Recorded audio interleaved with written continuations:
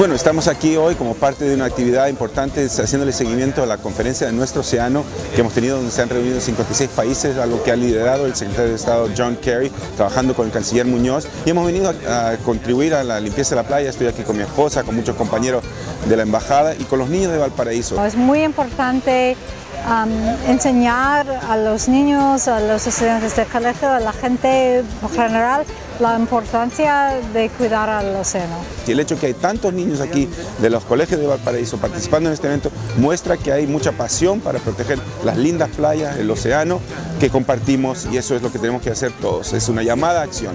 Todos tenemos que sumarnos a este esfuerzo.